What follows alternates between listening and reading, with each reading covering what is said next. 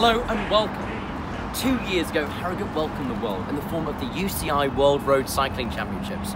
Back in 2014, poor old Mark Cavendish fell off his bicycle outside Betty's tea rooms during the first stage of the Tour de France. But did you know that it was right here, outside our very own Royal Hall, that in 1878 the first ever bicycle club was formed? On this spot.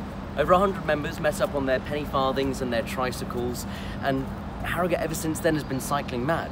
James Starley's invention meant that for the first time people could travel by their own means, outside of their own rural communities.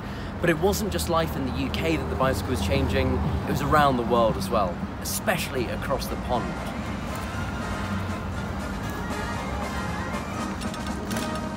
Follow me.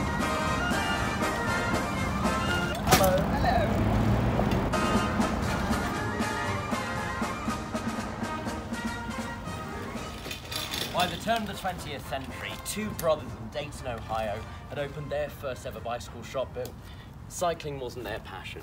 What they really were interested in was aviation, and in 1903 they cracked it by combining a combustion engine with their design and creating the first ever proper flying machine. It only went for 102 yards and got little more than a few feet off the ground, but it was captured in this infamous photograph. The photo was sent over to Europe, and the president of the French Aero Club invited them over to Paris, where they demonstrated their new flying machine to a jaw dropped audience.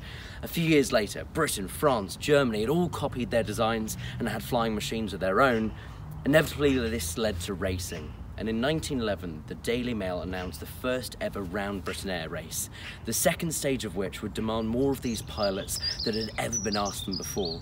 A 183 mile journey, all the way from Hendon North London to the Stray here in Harrogate. And at 7.02 in the morning, the first planes arrived over the horizon, and what greeted the people on the ground would have been just as shocking for the pilots up in the sky. 70,000 people had arrived up here, some on bandstands, others just crowding around the stray. Four times the population of the town, plus one and a half thousand motor cars had driven in, creating Harrogate's first ever traffic jam. The Chamber of Trade even commissioned a solid sterling silver tea set that was presented to James Valentine, one of the first pilots to arrive here, but he had to very graciously hand it back as the tea set was too heavy for him to take off again. By the Second World War, though, this had been converted into farmland where crops were being grown to feed the population of the town and trenches dug to stop the Luftwaffe from landing. By the summer of 1940, the Battle of Britain was well underway, as was the aerial bombardment of mainland Europe. To avoid the worst devastation, not only the civilians but also the government ministries moving outside of the large cities to more rural areas, and the Air Ministry chose Harrogate to come to.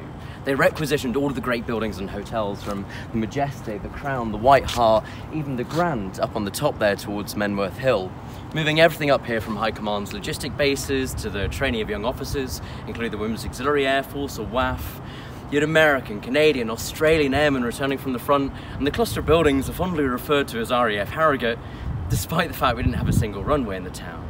In fact, this was being used for all sorts of amazing purposes, and to this day, whenever the Air Ministry do find themselves in the vicinity, they always make sure to swing by and say hello.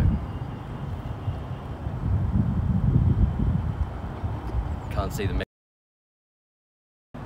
By the summer of 1940, the Battle of Britain was well underway, as was the aerial bombardment mainland Europe.